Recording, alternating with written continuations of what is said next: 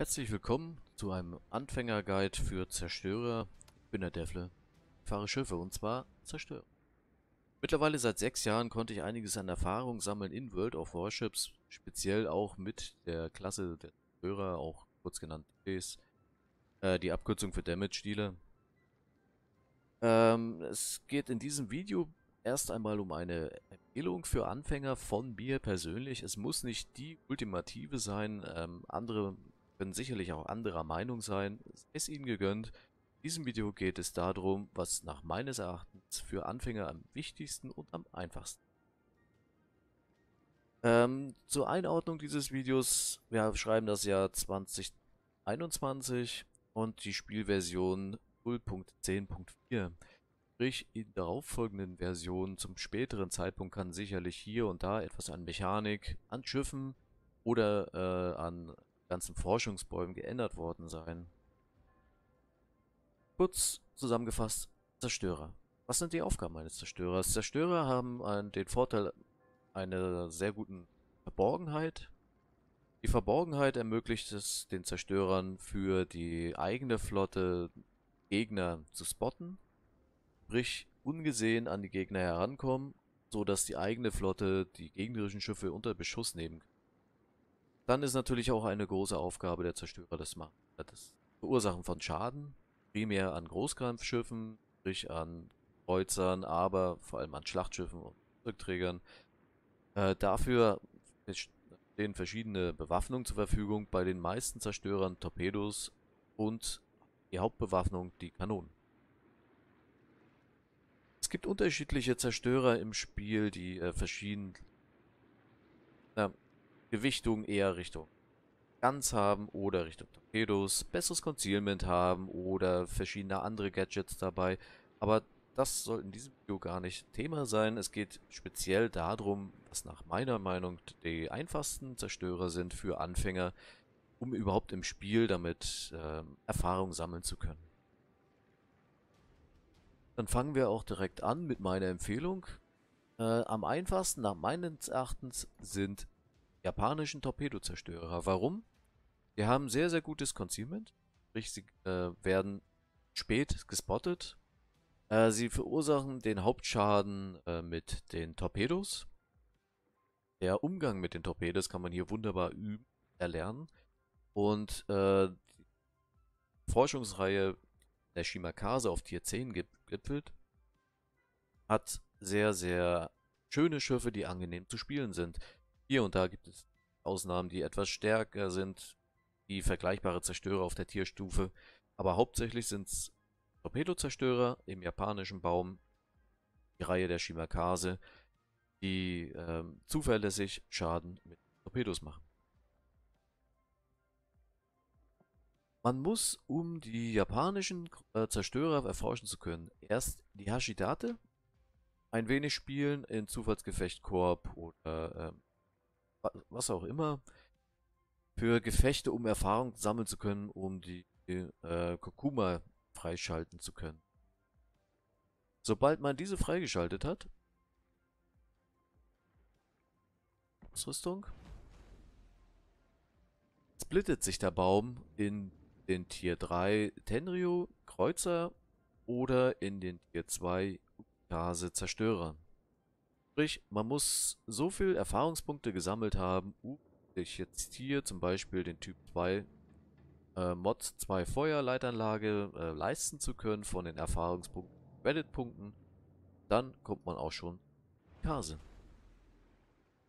Die Umikase hat auch verschiedene Ausbaustufen. Das sind die Grundausbaustufen. Und äh, die nächsten Module, die freigeschaltet werden können, sind äh, der Umikase B-Rumpf bringt etwas mehr Trefferpunkte, ein Hauptturm mehr, etwas Flak, was allerdings auf der Tierstufe eher zu vernachlässigen ist. Und es ist dann ein Typ 44 Mod 2 Torpedowerfer zu erforschen. Die Reichweite erhöht sich dadurch auf 8 Kilometer, die Torpedogeschwindigkeit erhöht sich und der Höchstschaden.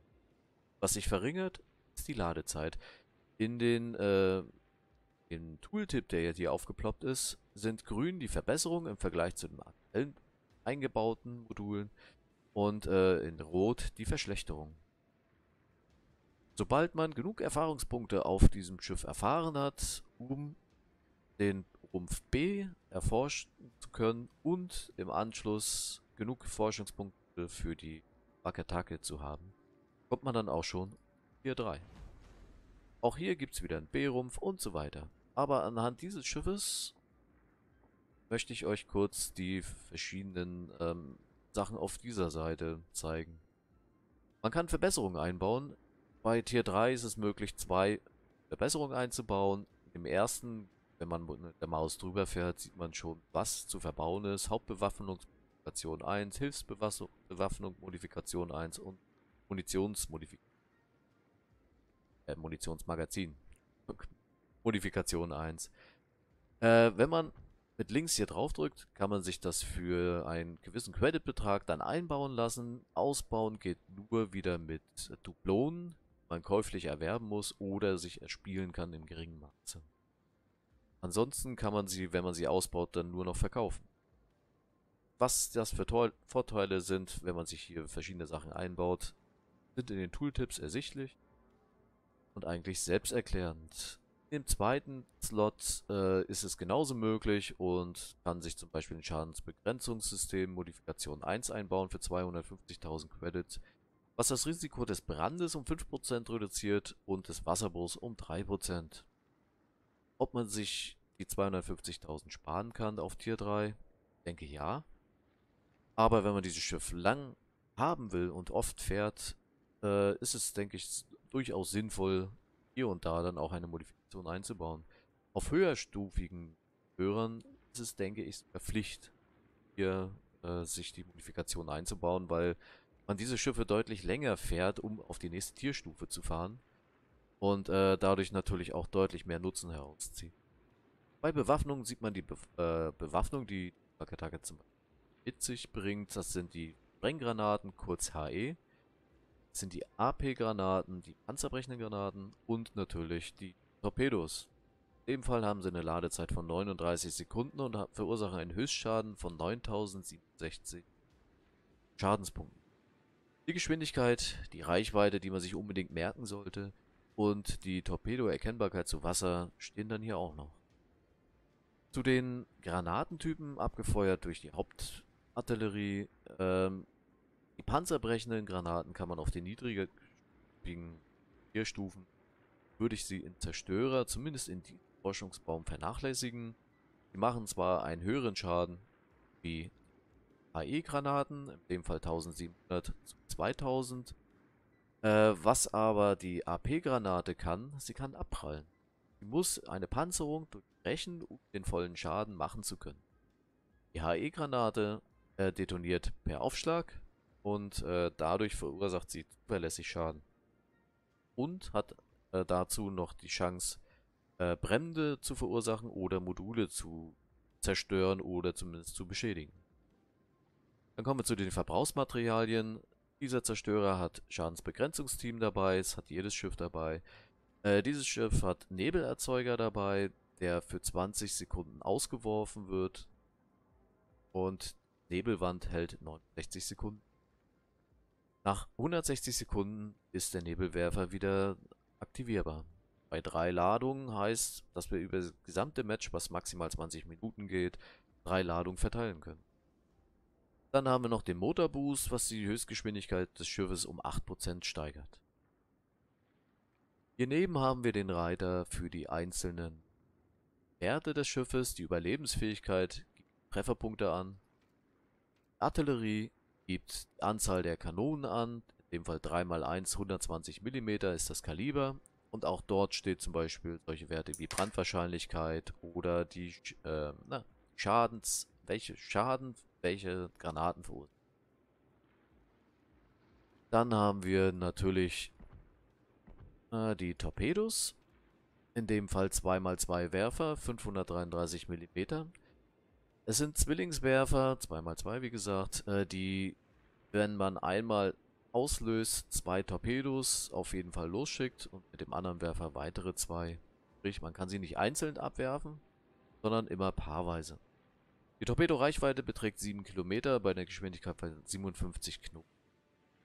7 Kilometer Reichweite sollte man sich auf jeden Fall merken, genauso wie den Wert der Verborgenheit. In diesem Fall haben wir eine Verborgenheit Erkennbarkeit zu Wasser von 6,1. Das heißt, auf 6,1 Kilometer nähern wir uns ein Schiff und ab 6,0999 gehen wir auf. Sprich, dass das andere Schiff uns sehen kann und natürlich auch dementsprechend zu, äh, beschießen kann.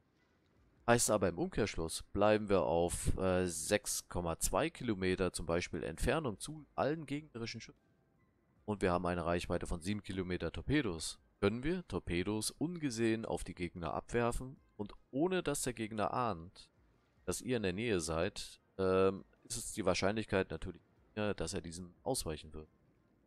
Erkennbarkeit zur Luft. Habt ihr einen Träger im Spiel oder Spotter, äh, in der Nähe, äh, die werden euch auf 2 Kilometer auf jeden Fall entdecken. Die sichere Erfassung von 2 Kilometern bedeutet, dass egal wo ihr steht, ob hinter einer Insel steht, ob ihr in einem Smoke steht oder hinter einem anderen Schiff, ihr werdet auf jeden Fall sichtbar, wenn ein Gegnerschiff auf 2 Kilometer herangefahren ist oder ihr herangefahren seid. Wenn ihr im Nebel steht und die Hauptartillerie abfeuert, seid ihr auf jeden Fall auf 2,2 Kilometer sichtbar. Sprich, äh, da wenn ein gegnerisches Schiff auf 2,2 Kilometer auf euch, äh, an euch heran ist, habt ihr eh wahrscheinlich irgendwie vielleicht an der Positionierung was falsch gemacht oder ihr wurdet einfach überrascht. Gehen wir mal kurz zum Äußeren man hat die Möglichkeit, Tarnung einzubauen mit verschiedenen Boni. Möglichkeit, Signale ein anzubringen mit verschiedenen Boni. Und man hat die Möglichkeit, Flaggen einzubringen, die reine Deko sind. Diese Möglichkeit der Tarnung, Signale und auch jetzt darauf folgend mit Kapitänen äh, wird nach und nach im Spiel freigeschaltet mit Wehrpass. Der Wehrpass ähm, sind diese Zugangsstufen, die, je nachdem wie viel Erfahrung und Gefechte ihr absolviert habt, bestimmte Sachen freischalten. Zum Trainer oder gewertete zusätzliche freie EP bringt es oder ähm, das Freischalten der Kapitäne. Also auf jeden Fall hier drauf achten, wenn ihr noch keine Signale, Kapitäne oder Szenarios freigeschaltet habt, könnt ihr diese natürlich bis dato noch fahren. So, mal kurz zum Gefecht an. Und zwar das Wichtigste, die Minimap. Erstmal zu den Tastenkombinationen hält man die STRG-Taste gedrückt, Auszeiger. Und dann kann man hier aufs Zahnrädchen drücken und sich verschiedene Kreise einzeigen lassen. Beispiel Feuerreichweite, Torpedoreichweite, Erkennbarkeitsreichweite zu Wasser wäre Torpedoreichweite sind die verschiedenen Kreise, die man empfehlen würde ich Schiffsnamen und Zahlenwerte zu den Reichen. Ansonsten haben wir noch die E-Taste vorwärts, sich hier die Geschwindigkeit auf voll, Stop auf voll. Dann äh, AD ist natürlich einlenken, genauso S ist rückwärts fahren, N. Das N gedrückt halten. Hupe. Ansonsten haben wir noch die Taste H gedrückt halten. Dort sieht man nochmal die Werte zusammengefasst über Kennbarkeit, Reichweiten und äh, verschiedene dann Reichweiten von den Flachs, ähnlichen. Hier haben wir dann die Gegner, die roten. Sobald man einen anvisiert hat, steht dort ein Fadenkreuz Will man ein anderes anvisieren, Reichweite, drückt die Taste X.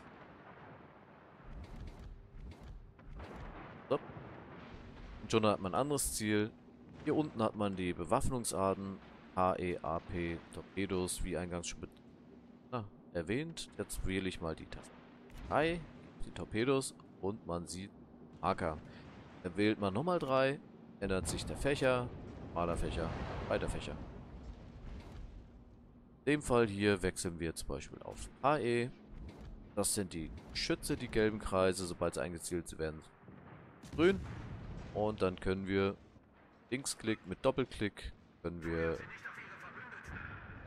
Schütze abfeuern. Wie man sieht, habe ich gerade Schaden an einem Verbündeten gemacht. Sollte vermieden werden. Kann man Schiffe beschießen. So, hier haben wir eine Tenrio. Anhand des weißen Markers sieht man, wohin bewegt. Werfen wir einfach mal ein paar Torpedos.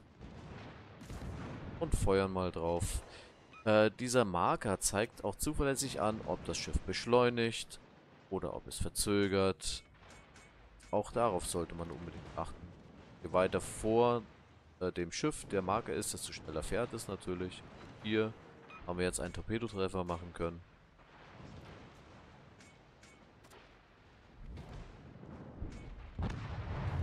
So, hier geht unser Verbündeter raus. Also wenn wir mal zusehen, dass wir hier Novik mal noch rauskriegen. Glück haben wir hier mehrere Torpedowerfer, die uns helfen können. Wenn man die Torpedos genau auf die Linie absetzt, bedeutet das nichts anderes, dass dieses Schiff in Fahrtrichtung, Geschwindigkeit anpasst, sondern diese beibehält. Das ist natürlich ziemlich unwahrscheinlich, weil meistens drehen sie leicht oder ändern die Geschwindigkeit.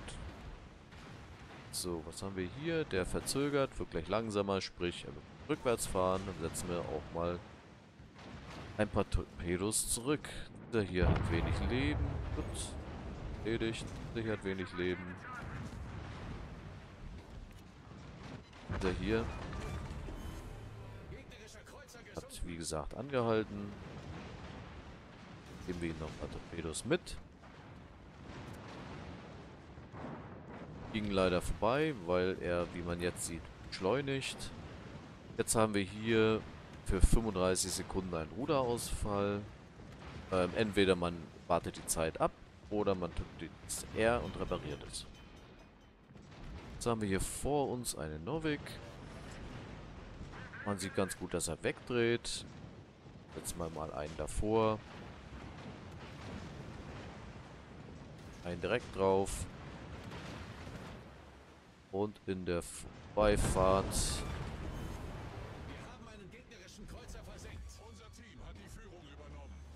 Ansonsten setzen wir hier nochmal ein paar drauf. Natürlich nach Möglichkeit nicht die eigenen versenken. Sprich, aus zweiter Reihe, so wie ich jetzt gerade muss man wirklich genau gucken, wo die eigenen Schiffe hinfahren. Weil Teamschaden ist nicht nur unbeliebt, sondern auch ziemlich schädlich für äh, die Fähigkeit des Teams noch gewinnen zu können. So, dann hier noch ein bisschen. Da noch ein bisschen. Rammen der eigenen Schiffe verursacht zwar auch Teamschaden, aber lange nicht so viel. Also von daher nicht zu ernst nehmen. Natürlich ist es ärgerlich, wenn man blockiert wird.